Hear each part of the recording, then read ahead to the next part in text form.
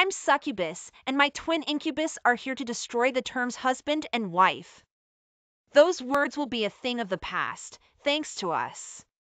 We are only making hoes and extra hoes. There will be no such thing as a housewife, just hoes. For your people, yes, your people, here on this side of the globe, we had to put unique plans in place for you all. Through gradualism, we introduce spirit husbands and spirit wives. They cannot and will not be faithful to anyone but us.